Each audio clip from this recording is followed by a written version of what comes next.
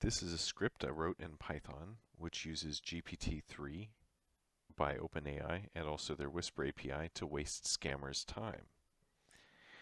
You can see here that one of its prompts is to act like a confused but lonely old person and to ramble and go on tangents with stories.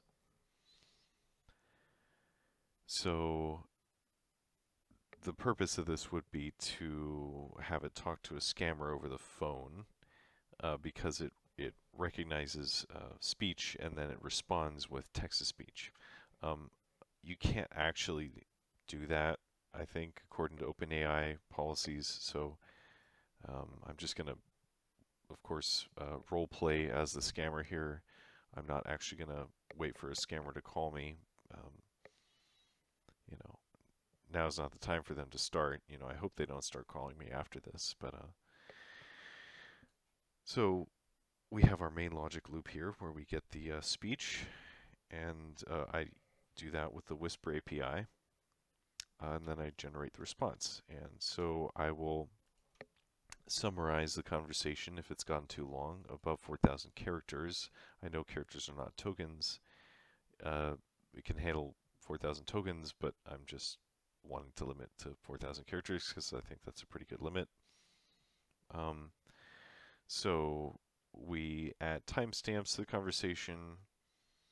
Um, we generate the text. We only grab the very first line from it. Mm, nothing too crazy. Um, you know, I have some stuff in threads, but that's just so that it doesn't take up time. Um, you know, I want to be able to to capture what the scammer is saying uh, while we're actually like speaking uh, or like outputting a response here. Um, uh, it just seemed like that was working the best. So I'm just going to play around with it. Um, I, I wrote like a script using ChatGPT that I'm just going to use to pretend to be the scammer. So let's uh, go ahead and give it a try. Um, it the, the responses do take a while. The transcription is just it's the longest part. Um, I'm not really sure how to make it go any faster. Um, so I'll just work with it. I'm just going to pretend it's better. Hello? Hi there. This is John from ABC Travel. Congratulations. You've been selected for a free trip to Bali, Indonesia.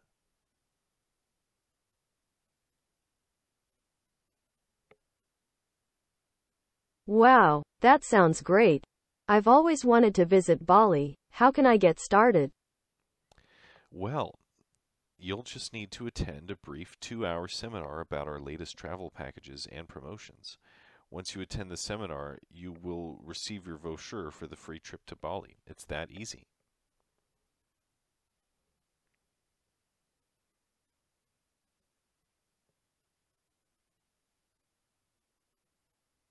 Sure, I'd love to attend the seminar. What day and time does it take place? Uh, the seminar is scheduled for next weekend, and uh, yeah, it's scheduled for next weekend. We do have limited slots available, so we encourage you to reserve your spot uh, right now. And uh, to reserve your spot, you will need to make a $50 deposit. And now, don't worry, we will refund your deposit after the seminar. This is just to ensure that you're serious about attending.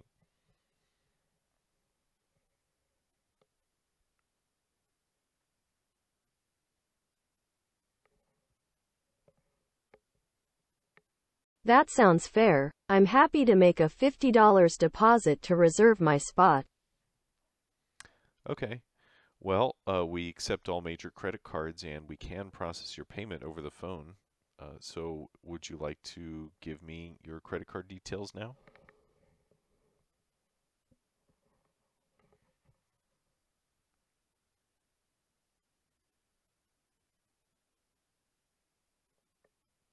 Sure, I'd be happy to give you my credit card details. What information do you need? I'll need your name, your credit card number, your zip code, and the three digits on the back of the credit card.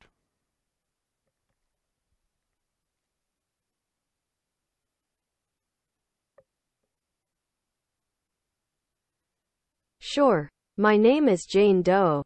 My credit card number is 4242 4242 4242 4242.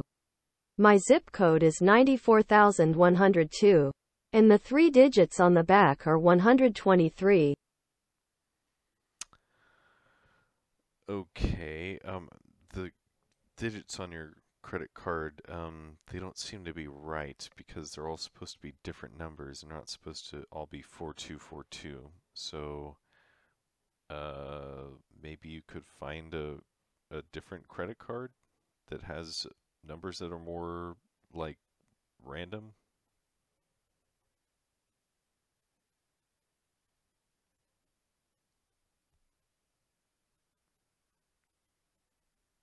Oh, okay. I can try to find a different card. Let me check.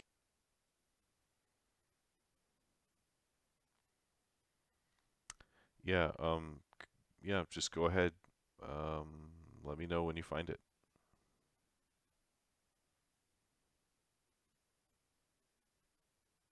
Let me see what I can find. I should have something soon.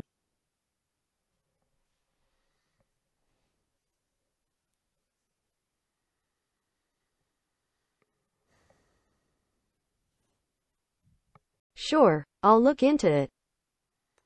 Yeah, um, so have you found it yet?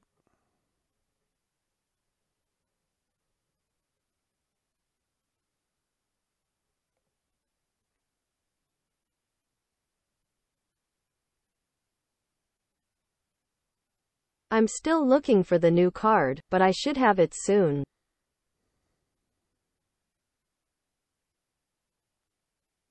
All right, go ahead and tell me the, all right, go ahead and tell me the card number.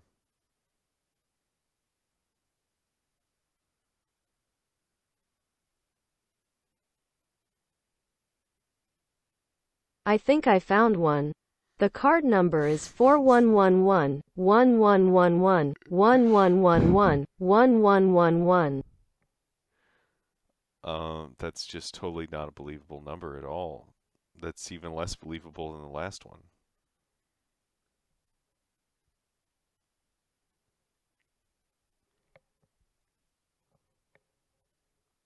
Hmm, that's strange. What other cards do you accept? Maybe I can try something else. Uh, all right, let's end it. So we got the uh, conversation here, the transcript. Uh, it didn't summarize, but if it did, we would see the summary here, so we can see how the conversation went. And,